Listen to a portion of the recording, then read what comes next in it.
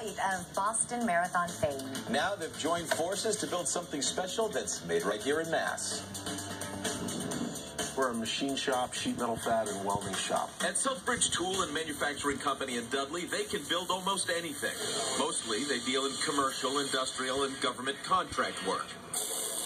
But if you head to a back room and take a closer look, you'll find they're actually creating something really special, something stronger than steel. Well, I'll tell you, it's um, life changing. Mike Diantonato's father and uncle started this manufacturing and fabrication company more than 30 years ago. But in 2009, it was a chance meeting with Dick Hoyt, yes, of the Dick and Rick Hoyt marathon duo fame, that led Mike to find what he says is his true calling. He had asked us to build him a brand new chair, which kind of threw us off because that wasn't the kind of business we're in.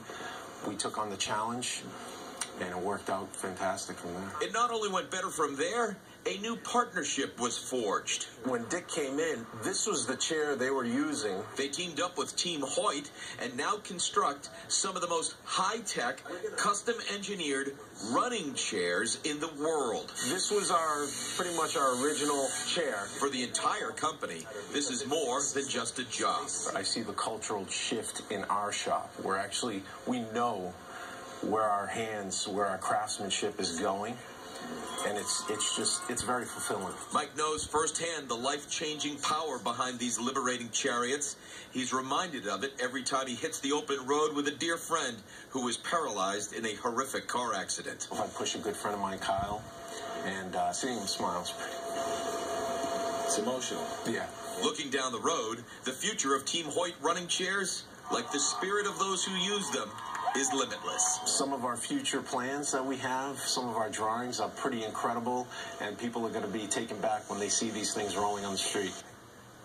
Oh, are just incredible. Even the guys at Team Hoyt, they're pretty amazed at the demand and the response. It is amazing in the demand worldwide. You know, the Uh-huh. first year they got seven chairs ordered. Second year, 30. Last year, over 100. Wow. And this year, they've already got a back order for 40 more. They got one going to Northern Ireland. So, uh, All over the world. starting to be a global reach. And they're starting to build new ones where they actually pull them as Okay. opposed to push them. Okay, like And they got a hand, and they, yeah, and they got a hand, they got a hand brake, so that when you're going downhill, you can brake it from behind. You know, brake.